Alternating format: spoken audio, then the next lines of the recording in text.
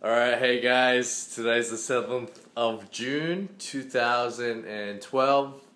I've um, just come out of my first meeting with uh, yeah, one of my clients, Adrian, and uh, he just came over my place, showed him around, pretty much just sat down, discussed about what I could be offering, how I could help him out in his um, in his building website. So uh, it's really interesting. Um, yeah, we just sat down, had an awesome conversation.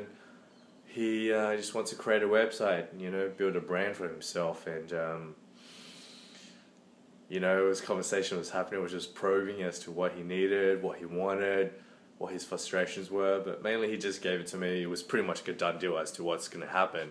Um, I told him about well, so the story is that Adrian doesn't actually have a website, and I specialize in social media.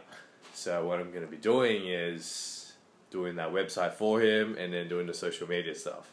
So it'll be really exciting for that. But anyways, uh, towards the end of the interaction, it's like, so uh, yeah, just to just to get an understanding of uh, how much is this going to cost. And the first thing that came to me, I was like, yeah, fifteen hundred. Yeah, just fifteen hundred. And BAM! Just like that, motherfuckers. Yeah. So, what did I learn? I learned that you should ask your clients what's your budget. Ask them. Because there's different categories in which you can have. You can ask them, well, how much you willing to spend? Understand those things.